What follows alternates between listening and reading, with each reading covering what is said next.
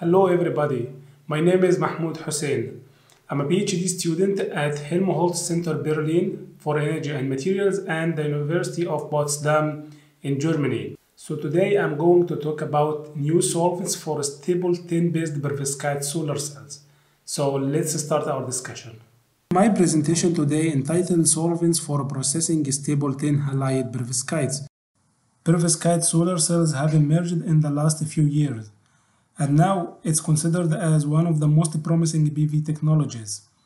Device efficiencies jumped from around 3% in 2009 to over 25% now. This is considered a huge jump in a limited time scale, but the highest performing cells are based on lead. Lead is a toxic heavy metal, and any leakage to the environment will be considered very harmful, and this toxicity is a big obstacle in the way of perovskite solar cells commercialization. In this slide, we can see a proof of lead toxicity. On the left hand side, we have plants that were planted in a natural soil, while on the right hand side, we have the same plants are planted in perovskite contaminated soil. The effect on the plant is very obvious. They found some lead atoms in the leaves of the plant. So the current situation between lead halide perovskites and tin halide perovskites is not in the favor of tin halide perovskites. For now, the problem with lead is the toxicity while tin is eco-friendly. So why tin perovskites are far behind lead counterpart? First of all, tin plus 2 is easily oxidized to tin plus 4 because tin is not stable in the plus 2 oxidation state. So it starts with an oxidation initiator which could be very few oxygen atoms in, in the glove box or could be some tin plus 4 contamination in the preparation materials itself. And what happens that tin plus 2 oxidized to tin plus 4, this leads to a self-doping in the cell which means the absorber material is full of holes or positively charged tin atoms. Inside the absorber, we have a huge amount of holes versus few amounts of electrons. So the probability of any photo-generated electron to meet a hole is very high. So what happens is the lifetime of the photocarriers is very short because once they are generated, they locate a hole and then they relax again as a, a non-radiative recombination. This leads to very, very low quasi-Fermi level splitting, which means very, very low open circuit voltage. The efficiency of tin halide perovskites is low due to the, the voltage component is very low, while the current is relatively high, and in most cases better than uh, lead halide perovskites. What is the origin of tin oxidation in tin halide perovskites? From the starting point, it could be from the materials itself. So the tin iodide material itself could be contaminated with tin plus 4 or could be from the solvents. So we did some investigations for materials and we became sure that tin iodide that we use from Alfa Aesar, I think, is very pure and it does not contain any tin plus 4. So we shifted to the solvents. Fortunately, we found that DMSO could initiate an oxidation mechanism inside the precursor solution itself. And this was published in the same time from our group and um, another group in Canada, where the two publications reported the same mechanism, which ends up by forming the hydrogen sulfide with its um, with, with its characteristic odor. So an oxidation mechanism could happen due to due to DMSO inside the precursor solution itself.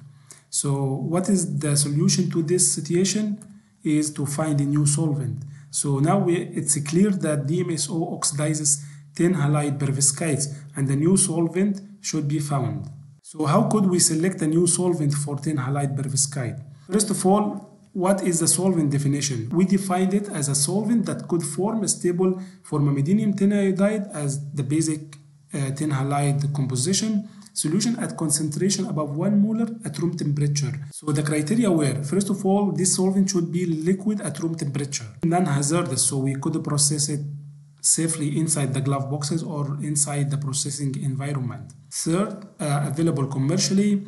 And fourth, we excluded some families of the chemical compounds like strong acids or big aromatics that are used as anti-solvents commonly and so on. So we did a solvation protocol where we started from a new solvent Then in first step, we try to dissolve a certain concentration of tin iodide, which is relatively high concentration, maybe 2 or 3 molar.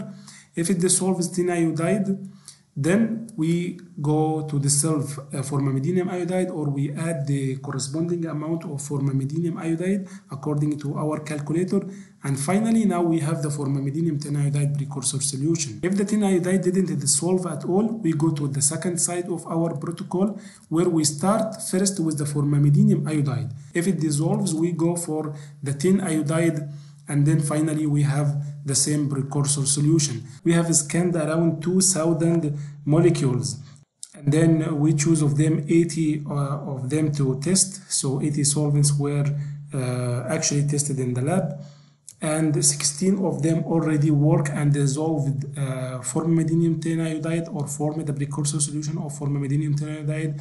So then we could group these 16 working solvents into six main groups. What are the properties in the molecules that allow them to solubilize the formamidinium iodide and tin iodide? There are many ways to do this, but in this regard, I will explain one method depending on the dielectric constant and the donor number. So what we did here, we plotted the dielectric constant of our um, uh, solvents versus the solubility. If it is uh, soluble, we give it 1. If not, we give it the value of 0.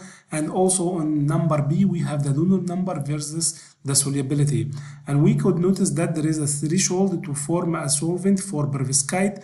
The threshold of dielectric constant was around 17. So all the molecules dissolved with perovskite has uh, a dielectric constant from 17 and above. The same behavior for donor number, which was 14.7 kilocalorie per mole.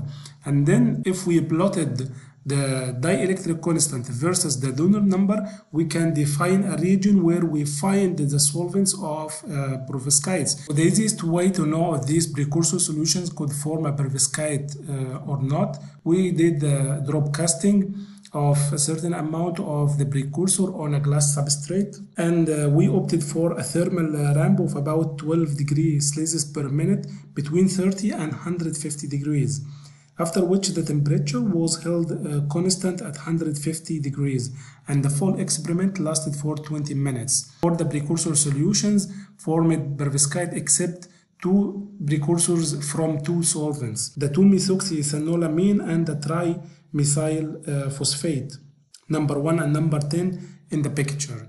After that, we did XRD to make sure that the formed material is perovskite and it has the phases of the perovskite materials, especially formamidinium tin iodide. So as, as shown here, the main phases of uh, the formamidinium tin iodide are represented. Of course, there is very uh, small differences from a solution to another, but this could be subjected to uh, deeper um, to a deeper study later. Thermal stability was done by uh, heating the precursor solution for 3 hours at 100 degrees Celsius and the color change was observed. So in this case, if there is any color change, this could lead to instability and decomposition of, of the complexations or changes in the complexometry of the precursor solution. So most of the solvents as shown here are stable at uh, 100 degrees for 3 hours. We tried also to make films out of these solvents and most of them didn't form uh, well connected uh, grains and uh, thick perovskite films. Some of them form transparent like DMAC until we get the DEF DMPU mixture as we can see on the right hand side.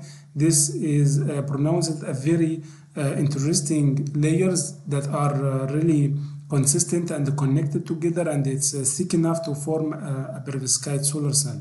Here we show that the, the performance of the first device based on our new solvent mixture DEF DMPU so the film looks very nice. The morphology uh, is excellent with uh, interconnected domains no open holes as we see usually in tin halide perovskites.